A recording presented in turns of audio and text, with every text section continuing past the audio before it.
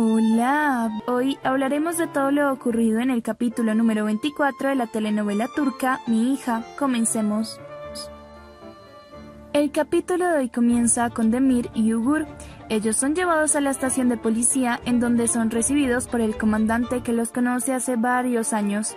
Él le pregunta al policía por qué ha llevado esos hombres y el policía contesta que presentaron comportamientos sospechosos cerca del museo denunciado por robo.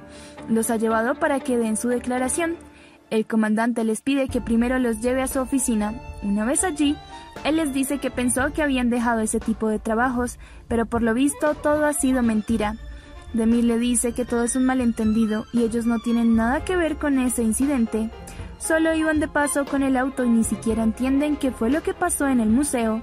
El comandante les pregunta qué hacían casi desnudos en mitad de la noche por ese lugar. Ugur intenta explicarle que en el día hacía mucho calor y no se habían dado cuenta que cayó la noche estando aún así vestidos. Demir sabe que esa excusa no servirá, por lo que le dice al comandante que se siente avergonzado, pero en realidad estaban visitando unas chicas y ya iban de regreso. Tuvieron una discusión antes de salir y no alcanzaron a vestirse completamente. Les dio vergüenza decirles la verdad a los policías cuando los detuvieron. El comandante les dice que ya son unos hombres adultos. Deberían mejor pensar en casarse en vez de caer en ese tipo de situaciones. Él les dice que afortunadamente nada fue robado del museo y tampoco encontraron nada en su auto por lo que pueden irse a casa ahora. Esperan no tener que verlos de nuevo. Ambos salen rápidamente de la estación y Demir le pide a su amigo que lo deje en el albergue para después entregar el auto a Korkmaz. Luego de unos minutos, Demir entra a la habitación del albergue y ve a Kandan quien le pregunta si acaso se ha cambiado de ropa. Demir responde que dejó caer un poco de café encima y tuvo que comprar otra camisa a su amigo. Él le pregunta dónde está Oiku y Kandan responde que en el baño. Intentó pedirle que se acostara, pero decidió esperar a que su padre llegara. Demir encuentra una camisa de su hija en el piso y Kandan le dice que mañana llevará su ropa a una lavandería cercana. Si quiere, puede llevar la ropa de Oiku también. Demir contesta que deberían ir juntos y Kandan dice que está bien. Le enviará un mensaje de texto para que se vean en la lavandería. Ella se despide y se va a su habitación. Oiku sale del baño y le pregunta a dónde fue y le recuerda que prometió no hacer nada malo. Demi responde que no se preocupe ya que no lo hizo. Él le pregunta si quiere que le lea un libro antes de dormir y Oiku sonriendo dice que sí. Es así como acaba el día. Al día siguiente, Demir lleva a su hija a la escuela y le pide que no vuelva a escapar ni persiga a ningún animal. Oiku le da un beso, se despide y sube las escaleras. Antes de entrar a la escuela, ella espera a Merkan quien le agradece por haber ido a su fiesta y le dice que se veía realmente hermosa. Oiku le agradece y le pide a su amigo un favor. Vemos que ellos han ido a un teléfono público junto a la escuela y Oiku le pide a Merkan que se haga pasar por su padre. Oiku marca el número de la maestra Sepji y al contestar, Merkan pone su voz gruesa y le dice que su hija Oiku no podrá ir a la escuela por dos días ya que está enferma. Sepji responde que su voz es extraña y Merkan cuelga la llamada. Él le pregunta a Oiku a dónde irá. Ella le dice que después le contará y ambos toman caminos distintos. Al mismo tiempo, Demir se encuentra con Ugur, quien le dice que no pudo dormir en toda la noche pensando en quién pudo haberles puesto esa trampa, y tampoco sabe cómo hacerle el reclamo a Kormaz. Demir le dice que será mejor no decir ni preguntar nada. Ellos saben muy bien cómo funcionan ese tipo de negocios. Ambos van hacia el negocio de Cormaz, quien finge no saber nada de lo sucedido, y les dice que encontrará y castigará a quien haya intentado atraparlos. Ugur le dice que ellos tampoco entienden cómo llegó la policía, si no hicieron movimientos sospechosos ni sonó ninguna alarma. Solo pudo haber sido alguien que conoce ese negocio tan bien como ellos. Korkmaz les dice que los compensará con un mejor trabajo y mañana hablarán de ello. Demir lo mira con sospecha y caminan hacia la salida. Korkmaz llama a Semal y le informa que Ugur está dispuesto a hacer otro trabajo, pero Demir aún lo duda. Semal le dice que está seguro de que aceptarán de nuevo y allí sí serán atrapados. Él le dice que lo llamará cuando encuentre otro trabajo y cuelga la llamada. En ese momento, Azu golpea la puerta de Semal y cuando abre, ella entra directamente a la cocina buscando licor. Semal le dice que allí no hay nada de eso y si quiere dinero ya sabe lo que tiene que hacer. A su molesta le dice que sí necesita el dinero, pero no lo obtendrá a través de una niña. Semal escucha que tocan a la puerta y le pide a Azu que se esconda en la cocina. Él abre la puerta y Kandan le comenta que está recolectando unas firmas con los habitantes de todo el edificio para su negocio. Semal firma con gusto. Azu decide no esconderse más y se para a su lado. Semal no tiene otra opción que presentarlas y decirle a Kandan que Azu es su querida amiga de infancia. Kandan dice que está bien y se va. Al cerrar la puerta, Azu le pregunta a Semal si esa es la mujer por la que él y Demir están peleando. Semal le advierte que no se le ocurra cometer ninguna locura con Kandan. Azu responde que no lo hará. Ella abre la puerta y sale del lugar. Nos vamos con Oiku. Ella llega al hospital, a la oficina del doctor Isan. Él le pregunta si ha ido con su padre, pero ella responde que no. Isan le pide que tome asiento y le dice que por lo visto decidió no contarle nada a su padre. Oiku le dice que el día de ayer él mencionó unas pruebas. Quería saber si pueden comenzar a realizarlas de una vez. Tal vez esté mejorando y su padre no tenga necesidad de saber nada.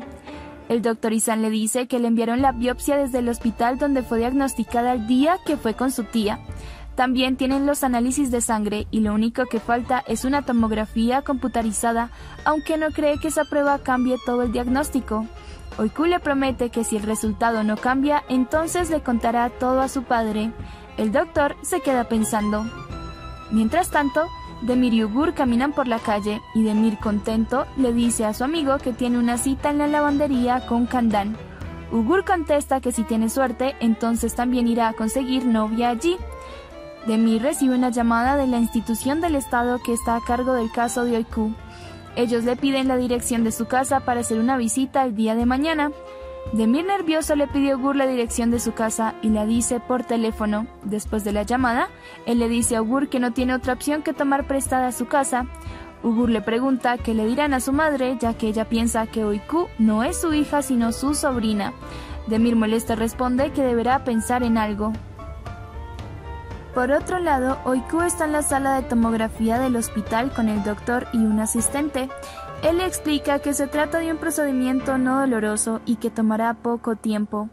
Oiku nerviosa intenta quedarse quieta y para no moverse cierra sus ojos y comienza a sonreír mientras imagina de nuevo un escenario en el que su padre y Kandan se casan y viven juntos un feliz matrimonio.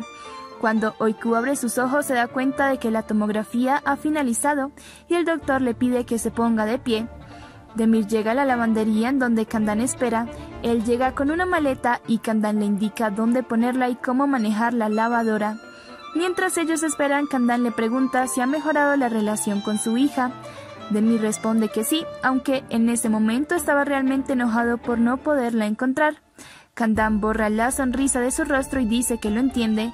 Ella también se hubiera enojado si fuera él, ya que perder a un ser querido duele mucho. Demir la mira fijamente y le comenta que su hermano Senk fue al albergue cuando ella estaba dormida con Oiku. Él le pidió que hablaran y le contó sus experiencias familiares. Kandan se queda en silencio muy triste y Demir le pide perdón nuevamente por haber arreglado la bicicleta.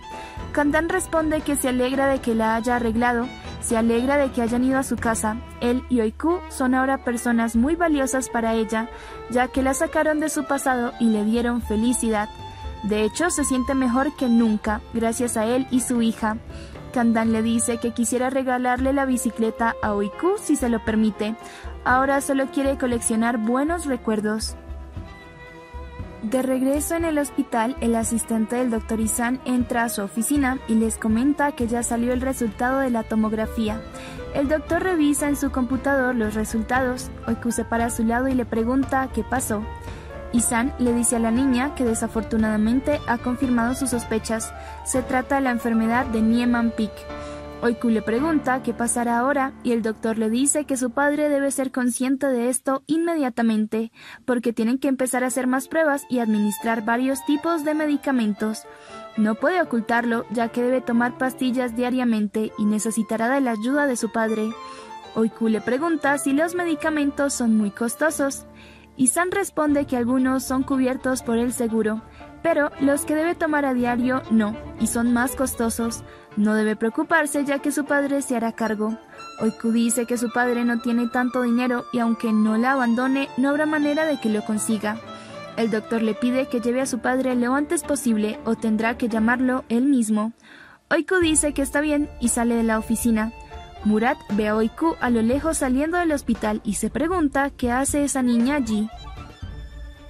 El capítulo acaba con Asu. Ella entra a otra tienda con la intención de robar una botella de licor, pero esta vez el dueño de la tienda la detiene y hace que la policía la encierre en una celda por ladrona. Oiku va en un autobús pensando en cómo podría conseguir el dinero para sus medicamentos. Si su padre se entera, seguramente hará cosas malas para conseguirlo y no quiere que eso pase. Oiku piensa que la mejor solución es irse de la casa. Ella llega a la escuela justo a la hora de la salida y le pregunta a Merkan si su maestra dijo algo. Él responde que no. Demir recoge a su hija y le comenta que lo llamaron de servicios sociales, dijeron que realizarían una visita mañana y tienen que fingir que la casa de Ugur es suya y que viven allí. Oiku triste le pregunta si entonces tienen que mentir. Demir dice que sí, pero buscará una casa lo más pronto posible. Él le pide que no diga adelanto de esas personas que no tienen dinero o se la llevarán. Oiku dice que está bien, pero a cambio le pide a su padre que no vayan al albergue, sino que hagan algo diferente y divertido con Kandan. Ella le pide que vayan a un parque a volar una cometa.